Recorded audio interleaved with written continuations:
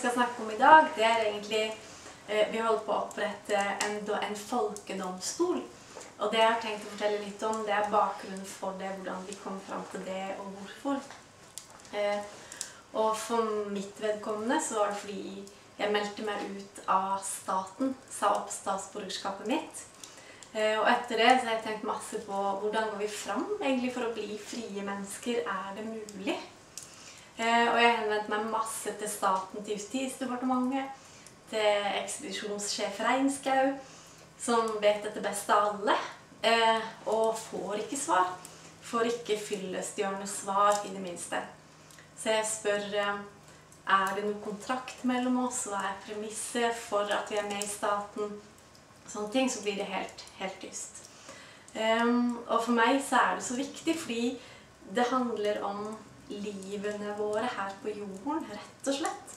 Og sånn som det er nå, så er det staten som har tatt beslag i livskraften vår, i den kreative energien vår, på en helt kvantifiserbar måte. Så hvis vi, sånn som det ser ut til, betaler mellom 80 og 90% skatt faktisk når vi legger sammen alt, så betyr det at, at vi er eid helt reelt av staten. Og at ikke vi har noe valg, at rammene er satt for livene våre. Og for min del så gjør alt i meg opprør mot det.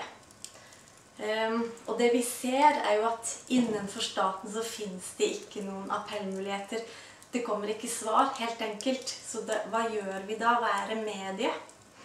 Hva, hvordan ringer vi inn den enorme gorillaen som staten er, som fortsetter å sende brev og varsler og krav? Hvordan får vi den til å stanse? Og det vi har tenkt da, er at da må vi opprette en folkejury med mange medlemmer, 200 stykker, sånn at vi får en høy stemme og kan stille spørsmålet eh, mye mer eh, emfatisk. Så eh, det er det vi kommer til å gjøre. Vi har tenkt å stille staten det ene spørsmålet som er så upassende og rammende at den på en måte tar bunnen bort under det staten står for, og virkelig stiller eller går dypt og fundamentalt ned i selve strukturen som holder livene våre i, i det fengselet vi kan si det er. Og det vi har tenkt å spørre staten om, er hvordan kan du backe din claim, på en måte, din påstand overfor oss? Hva er det som gjør at du hevder din rett til å overta livene våre og bruke det til det du definerer? og det er så interessant, fordi det er så lett å se at staten sitt mandat er eh, ugyldig. Og hvis vi går inn på nettsidene til Stortinget f.eks. Eh, og spør Stortinget selv hvor henter du ditt mandat fra, hva er det som gjør at du har rett til eh, å sitte der og ta beslutninger på våre vegne? Hva, hva begynte det med? Eh, og det Stortinget selv forteller, her, jo vi henter vårt mandat fra to faktorer. Det ene er prinsippet om folkesuverenitet. Og det andre er prinsippet eh, om at Grunnloven er øverste lov. Lex superior. Eh, og helt åpenbart så faller mandatet bort dersom disse to faktorene ikke blir imøtegått. Og det er så veldig lett egentlig å dokumentere at ingen av disse delene blir fulgt. Vi er vant til å tenke at Stortinget bestemmer lover på våre vegne, ergo er vi representert. Og det er det som er meningen med, eh, med Stortinget, rett og slett. Eh, og vi går til valg, og vi tenker at ok, men da influerer vi på den politikken som blir ført. Og den politikken som blir ført, har et resultat. Produksjonen av den, det er lover. Så lovene som utgår fra Stortinget, er resultatet av folkesuvereniteten. Og nå vet vi at nesten ingen lover blir vedtatt i Stortinget. Og da kan vi gå til kilder som Lovdata og andre kilder og se hvor mange lover kom fra Stortinget. Veldig få. Hvor mange kom fra EU, WHO, WTO, FN og mange andre som vi har bilaterale kontrakter med så vil vi se at Eh, de som tar beslutninger i livene våre, de sitter i Brussel, i New York, i London og ikke i Oslo overhodet. Så det betyr at hver gang vi går til valg, så er det en fake seanse. Det er eh, noen som har skrevet et manus for oss, og vi går rett inn i de rollene uten å tenke noen ting.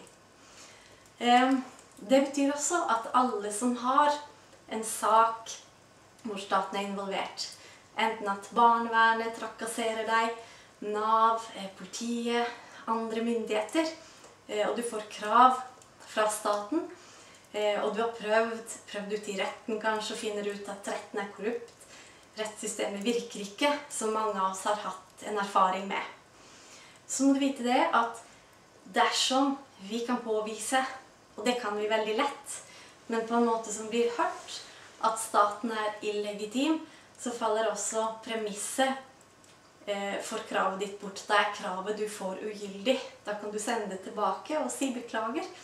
Eh, dere, dere, har ikke legitimitet, ergo så kan dere heller ikke kreve noe. Så, så, det vi tenker, er at det er den eneste måten å gjøre det på. Um, det er ikke mulig å gå til rettsinstanser i Norge fordi det er så utprøvd, og det er så, så mange indikatorer på at det også er et system som er broken, ødelagt innenfra. Um, det vi kommer til å gjøre nå, det er å danne en jury med 200 stykker. Det må være så mange at ingen kan unngå å legge merke til det og høre stemmen vår. Og så kommer vi til å kjøre det som en helt regulær rettssak foran et stort publikum. Eh, og vi kommer til å leie et lokale som Litteraturhuset, eller et sted hvor det er umulig å ikke se at vi er.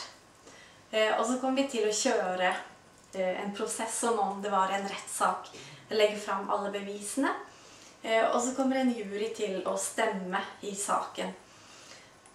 Det arbeidet vi kommer til å gjøre nå, det er å rekruttere medlemmer til juryen. Eh, og vi har ingen interesse i å vinne, men vi har en interesse i å se at vi bor i et land som ivaretar rettssikkerhet. Og det skjer ikke nå.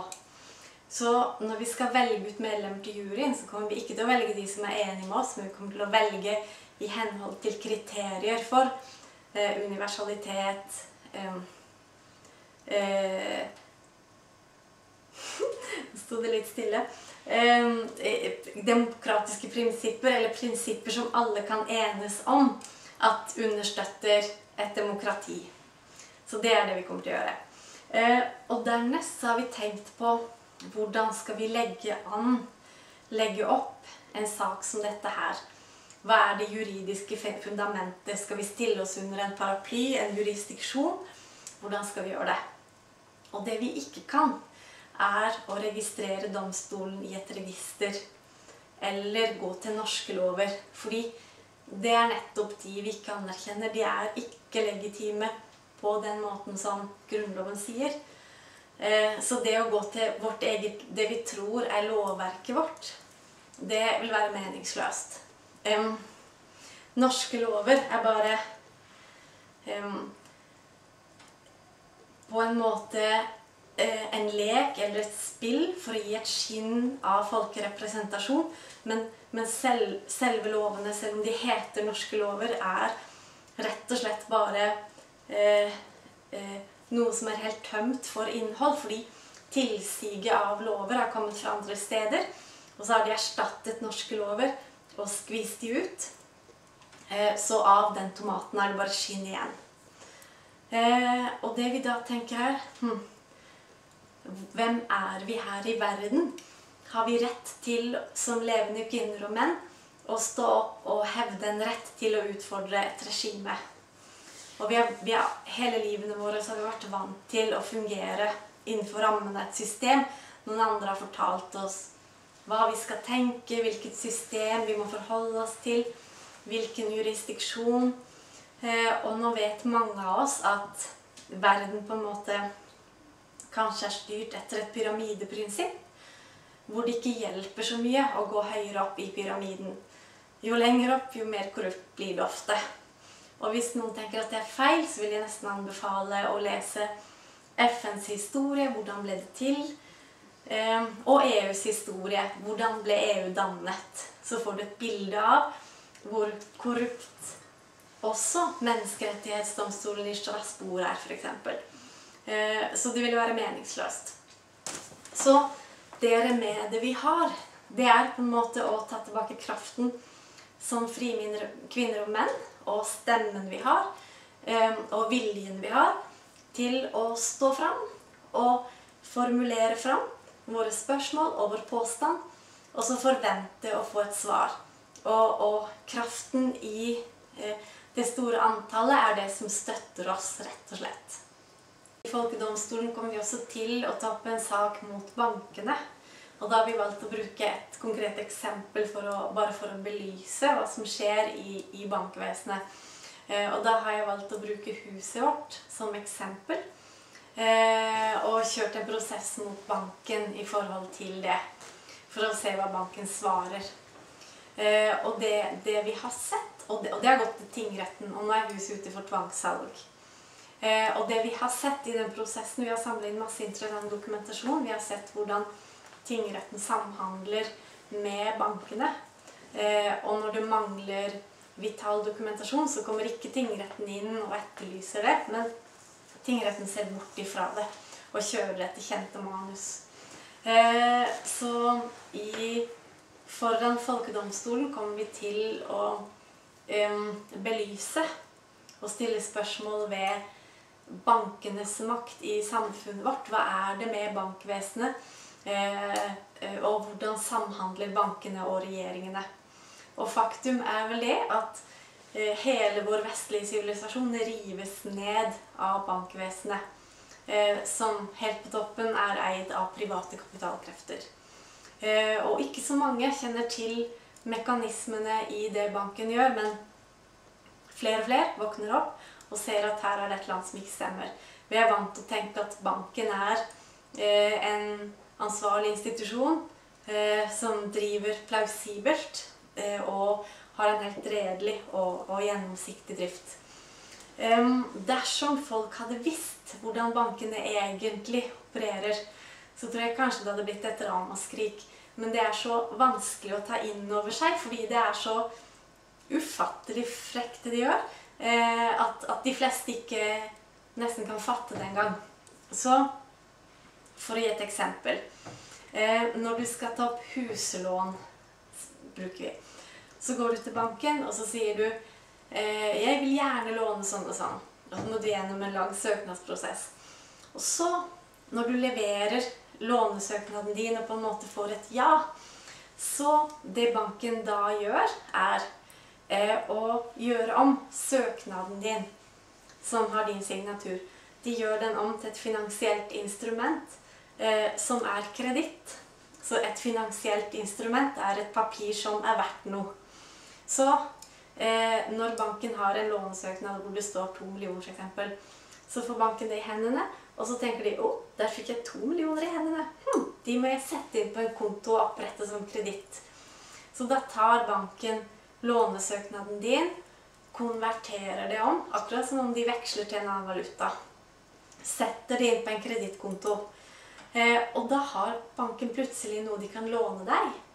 Så da har de skapt penger ut av løse lufta på basis av søknaden din, som de setter inn på en kredittkonto. Så sier de ja, du skal få låne to millioner tilbake til deg. Eh, og de fleste tenker at nei, banken låner ut penger som andre har satt inn. Eh, de låner ut penger de har, som de har tjent på å investere eller, eller annet. Men faktum er at vi får ikke én krone av banken. Så banken kunne like godt satt opp eh, et bord midt i gata som om de solgte saft, og bare sitte der uten annet enn et ark. Og når du kommer med, med, det du leverer, som er en sekk med penger som er egenandelen din, pluss lånesøknaden, så tar banken det. Eh, og så skriver de på papiret 'To millioner. Vær så god, der har du lånet ditt'. Eh, så i virkeligheten når du tar opp et lån, det som skjer, er at det du gir til banken, er din egenkapital. Si en halv million, f.eks. Den representerer helt reelt eh, mange, mange, mange, mange timers arbeidskraft. Så den har en realverdi fordi du har jobbet så mye for å tjene disse pengene. Det får banken, vær så god. Eh, og så får banken også skjøte på fast eiendom.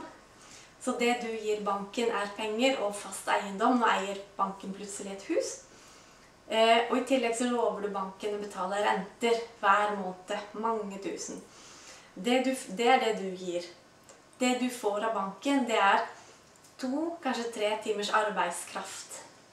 Du får aldri noe mer enn det av banken. Verken nå eller siden. Eh, og en så ufattelig hårreisende global bløff er det som holder oss i et gjeldsslaveri, hvor vi har en debitøkonomi, eller en gjeldsbasert økonomi, og hvor eh, samfunnene går inn i konjunkturer som ødelegger livene til mange, skaper inflasjon, arbeidsledighet, river ned eh, den reelle verdien på ting, sånn at folk ikke aner mer hva ting faktisk er verdt. Så eh, hvis du skal snakke om trussel mot nasjonal sikkerhet, så er bankene trussel nummer én. I høyeste grad. Um, dersom Og mange tenker ja, men du får jo tilgang til å kjøpe et hus når du går til banken. Det får du. Men hvis bankvesenet ikke hadde vært der, så kunne du med dine egne krefter eh, kanskje bygget et hus på to år med to års arbeidsinnsats og arbeidskraft og evne til å bytte til deg materialer. Eh, I stedet for så har du gjeld i 25 år. Så det er en dramatisk forskjell på det vi med vår skapende evne og produktivitet eh, Evne til produktivitet kan, kan få til, og det som vi nå har mulighet til. Så, så bankene har gjort det sånn at vi Eh, er slaver et helt liv fordi vi har bundet opp hele kapasiteten vår for resten av livet, rett og slett. Eh, og det er også interessant for regjeringene. Men for å forstå hvorfor det er så tett, tette bånd mellom eh, regjeringene og bankvesenet Fordi dette hadde ikke vært mulig uten domstolenes medvirkning. Ikke sant? Fordi vi la i hvert fall fram veldig overbevisende dokumentasjon på at kontrakten med banken var full av feil. At banken ikke har lidd erstatningsmessig tap, sånn som kravet er. Når banken hevder et krav, så må de også dokumentere at de har lidd tap. Og det kan de ikke. Eh, og når du får lån av banken, så må banken også legge fram bevis på, i henhold til regnskapslovgivning De må legge fram bevis på at jo, du har fått penger, og de har vi tatt derfra. Så de må kunne dokumentere hvilken kilde pengene har kommet fra. Det kan de ikke. Eh, og det ser eh, tingretten bort fra. Tingretten i Telemark var det vi har prøvd. Eh, I Skien, faktisk. Ehm, så disse tingene her, den infiltrasjonen som, som kan få lov til å skje fordi vi er så programmerte og lydige Vi er faktisk så lydige at vi heller enn å tenke selvstendige tanker bare signerer og gjør det vi alltid har gjort, eh, sånn som tingretten f.eks. gjør, så får vi Effekten av det er den, den massive kollapsen vi ser i hele Europa, f.eks., og som vi har sett komme i lang, lang, lang tid. Eh, Norge er et av de landene som kommer verst ut på statistikk. 52 000 barn eh, er under oppsyn av barnevernet eller i psykiatrien eller får en eller annen type oppfølging. Eh, pedagogisk oppfølging. 52 000 barn, det er veldig mye. 15 000 barn blir eh, tatt, vil jeg si, av barnevernet hvert år. og satt i fosterhjem. Det er ufattelig høyt tall. I Frankrike så er det 1500, og Frankrike er jo et land med utrolig mye større befolkning. Eh, 10 000 mennesker i året var det for noen få år siden som blir tvangsinnlagt i psykiatrien. Det er så svimlende tall i et så knøttlite land som det vi har. Og god grunn til å spørre hva er det som skjer i verdens lykkeligste land når så mange mennesker eh, opplever så harde og sterke og dehumaniserende møter med staten. Hva er det som styrer det her? Fordi det er så åpenbart for meg at dette her er ikke folkeviljen. Dette er ikke det Ola Nordmann og Kari vil hvis det hadde vært de som styrte. Så det blir så åpenbart etter hvert at det er noe annet som skjer. Og det er det også. Når vi ser på forvaltningen, så forstår vi og begynner å eh, gå etter i sømmene. Så ser vi at det, her er det andre som trekker i trådene enn det vi er vant til å tro. Eh, så det er bakgrunnen for det arbeidet vi har begynt på med folkedomstol. Eh, bakgrunnen for det er rett og slett den avmaktsfølelsen du får i møte med staten når du sender brev på brev, ikke får svar. Og hvis du får svar, så er det inkompetente svar svar og svar. Eh, svar som ikke henger sammen. Eh, inkongruente svar. Og, og den forferdelige maktesløshetsfølelsen du får når, når, livet ditt står på spill. Familien din, lykken din, barna dine. Og, og, du bare møter en vegg i møte med staten, og ikke levende mennesker. Eh, så det ene spør Og for min del så har jeg hatt en sak med Nav som jeg syns var så urettferdig og rammende. Eh, og som satte i gang en veldig indre prosess hos meg. Hvor jeg på en måte følte at ok, enten løfter du blikket igjen og eh, finner fram til ondets rot, eller så bøyer du deg og går duknakka gjennom livet. Det er ett av to. Fordi det er så, det er så eh, veldig uverdig, den behandlingen man ofte får i møte med staten. Um, og for min del Mange kan si at det er nok ikke sant, men jeg tror, jeg tror det var en ren straffereaksjon etter at vi har hatt eh, et stort engasjement i forhold til vaksiner og sånne ting. Um, helt kort kan jeg bare fortelle at jeg aldri har fått noe fra Nav før, annet enn barnetrygd. Så da jeg endelig hadde behov for arbeidsledighetstrygd en periode, så var jeg kjempeglad for det. Uh, og i etterkant så ser jeg at det er Jeg angrer veldig på at jeg hadde noen kontakt overhodet med Nav, for det var en forferdelig opplevelse.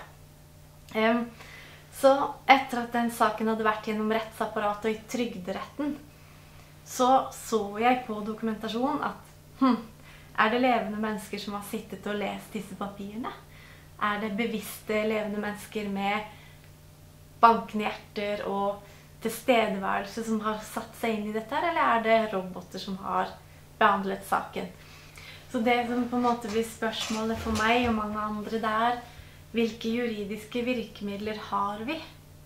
Fordi når vi prøver ut de som finnes innenfor rammen av staten, så merker vi at da møter vi veggen. Der er det ingenting å hente. Rettspleien i Norge er katastrofal.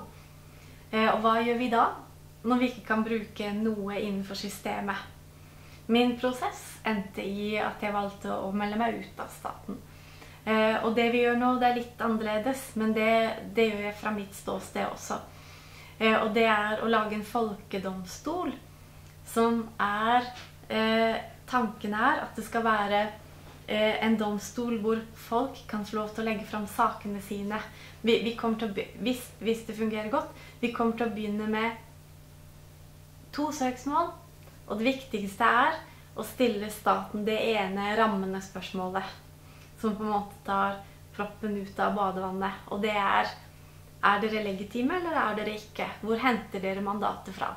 Og alle som har eh, saker med eller mot staten, burde våkne og forstå rekkevidden av å stille staten akkurat det spørsmålet. fordi hvis staten ikke er legitim, så kan den heller ikke rette et krav mot deg som er juridisk fundert eller rettslig gyldig.